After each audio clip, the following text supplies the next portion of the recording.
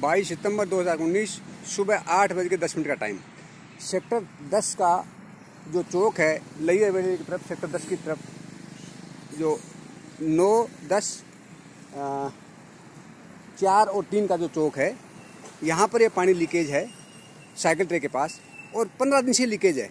पहले इसकी मैं एक दो कंप्लेंट कर चुका हूँ, लेकिन अभी ठीक नहीं हुआ है और कंटिन्यू पानी जह रहा है। और ताज़ा पानी का टाइम है, ताज़ा पानी है। तुरंत इसको ठीक करने की आवश्यकता है। धन्यवाद।